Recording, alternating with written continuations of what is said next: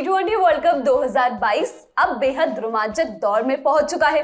बुधवार 2 नवंबर को खेले गए मुकाबले में नीदरलैंड्स की टीम ने जिम्बाब्वे को हरा दिया। नीदरलैंड्स ने इस मैच में पाँच विकेट से जीत हासिल की, जो कि इस टूर्नामेंट में उनकी पहली जीत भी है। पहले बैटिंग करते हुए जिम्बाब्वे की टीम ने 19.2 ओवर में 117 रन बनाकर ऑल आउट हो गई। जवाब में नीदरलैंड्स ने 18 ओवर में पाँच विकेट खोकर इस लक्ष्य को हासिल कर लिया। इस हार के बाद जिम्बाब्वे की टीम टूर्नामेंट से बाहर हो गई है। वहीं नीदरलैंड्स की टीम पहले ही इस टूर्नामेंट से बाहर हो चुकी थी।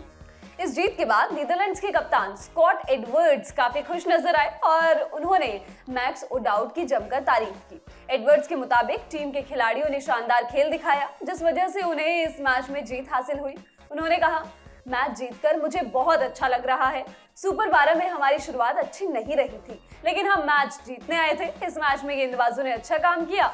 और हमारे टॉप चार बल्लेबाजों ने हमें लक्ष्य के करीब पहुँचाया।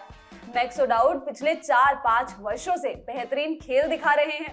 मैच की बात करें तो जिम्बाब्वे के कप्तान क्रेग इरविन ने टॉस जीतकर पहले बल्लेबाजी चुनी थी। हालाँकि उनका ये फैसला सही साबित नहीं हुआ और टीम ने 20 रन के स्कोर पर अपने पहले तीन विकेट गंवा दिए।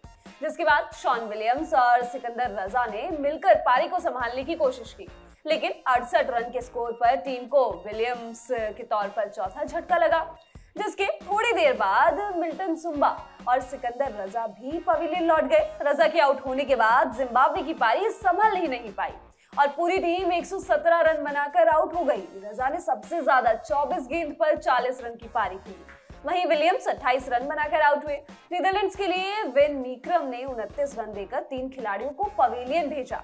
जवाब में खेलने उतरी नीदरलैंड्स को 17 के स्कोर पर पहला झटका लगा, जब माइबर्ग आठ रन बनाकर आउट हो गए। इसके बाद मैक्सोडाउट और टॉम कूपर ने मिलकर टीम को लक्ष्य के करीब पहुँचा दिया। नब्बे के स्कोर पर कूपर के आउट होने के बाद टीम की पारी थोड़ी लड़खड़ाई, लेकिन गलीडे ने नाबाद 12 रन की पारी खेल टीम को पाँच विकेट से जीत दिला दी। इस वीडियो में बस इतना ही। इस वीडियो के लिए स्क्रिप्टिंग की है रविराज ने। इस वीडियो को शूट किया है आलिश ने। और मैं हूँ गरिमा। स्पोर्ट्स से जुड़ी खबरों के लिए आप देखते रहिए ललन टॉप स्पोर्ट्स। शुक्रिया।